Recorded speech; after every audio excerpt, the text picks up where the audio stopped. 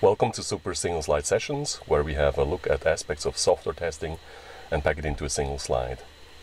I've been a line manager of testers for almost two decades. Sometimes people ask me for career advice. Yes, there are a lot of factors that are important in your testing career. Here is uh, my number one advice. Don't hide in your bubble, instead build your professional network. Yes, it is essential to build your skills, and you will need many to be an excellent tester.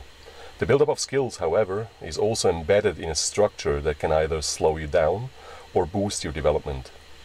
If you start building your professional network early, you will expose yourself to a broader diversity of ideas and opinions. All this will help you in your development. In the show notes below, I have added a selection of communities you might want to have a look at. Many of them have played an important role in my own professional life. Thank you for your attention, stay healthy, and have a successful day.